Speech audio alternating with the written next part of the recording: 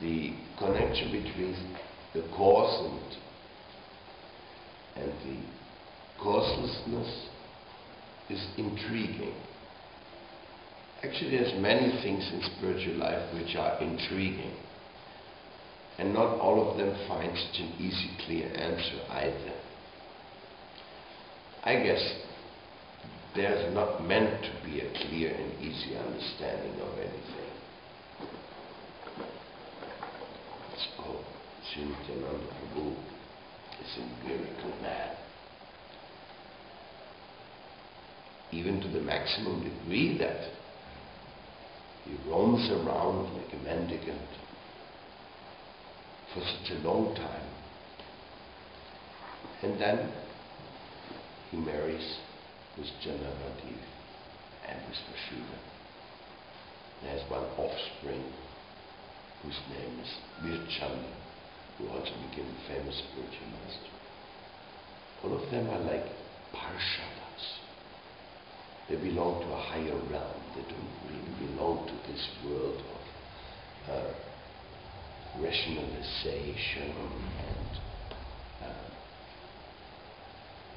attempts to enjoy or attempts to renounce or attempts to do anything but enact a divine pastime for the blessings and for the, for the hope of all.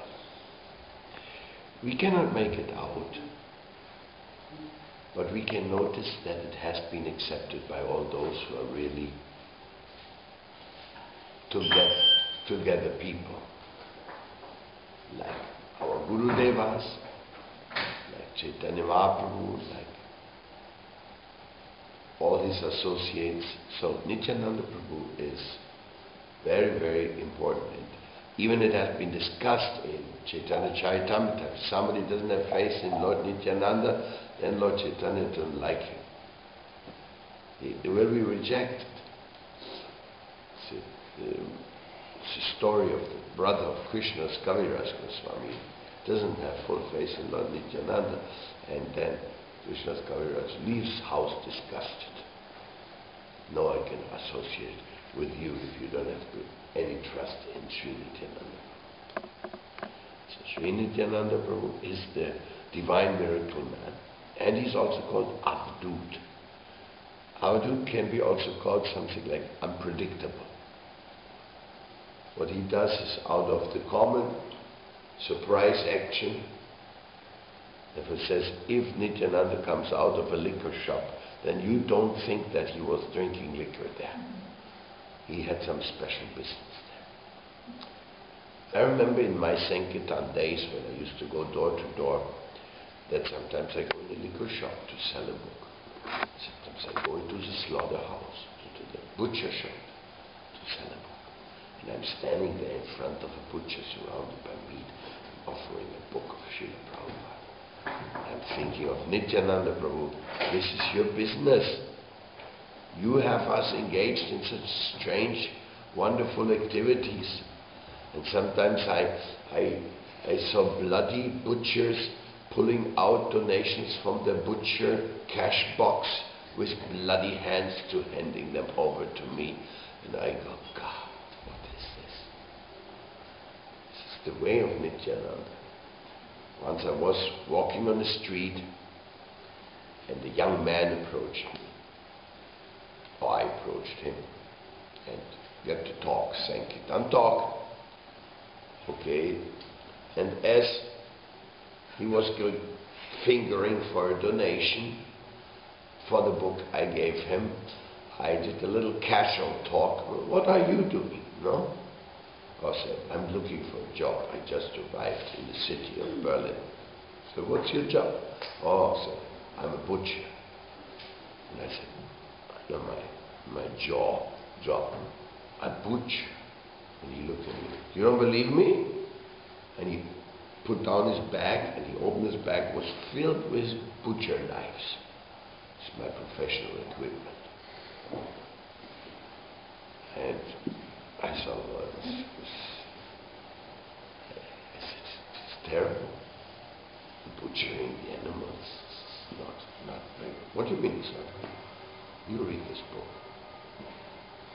So, I go on on Sankirtan up and down the Kurfürstendamm, and he's sitting on a bench and reading Prabhupada's book.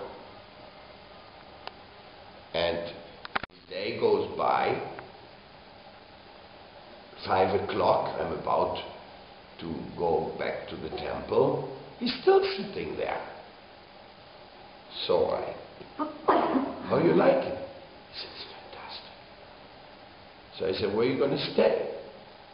Oh, he said, I haven't taken a place yet for tonight. I haven't, I haven't a hotel or something. So I said, you want to come to our temple and check out what, what this is like? Philosophy. He said, can I come? Would you receive me there? I said, come on. So this poor person, he got initiated together with me because I wasn't initiated at that time. Prabhupada hadn't come. He ended up taking Prabhupada's initiation. Huh? So this is Nityananda Prabhu. He is he's the one who is giving us participation in his causeless mercy. And for this one experience, he, it made my life. His name became Maharati Prabhu. And when he was initiation, initiated, Prabhupada said, and no more killing of animals. He said, yes, Prabhupada. So, Nityananda Prabhu is so merciful. There's, there's so many stories of the unlimited mercy of Sri Nityananda Prabhu. It's hard to, there's no end to them. They are Ananda. Kevalanda, Kevala Ananda. They're full of joy and they're unending. The stories of Sri Nityananda's grace enacting in our life, in our surrounding. Even though he appeared 500 years ago, the real Nityananda story, that will never end because without Guru and Guru Tattva, nothing of this would have manifested. So, Nityananda Gauranga, Nityananda Gauranga, they just go hand in hand, you know.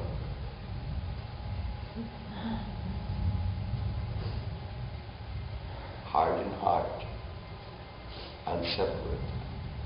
Krishna Balaram. Ram Lakshman. Hmm. I haven't heard such a thunder in a long time.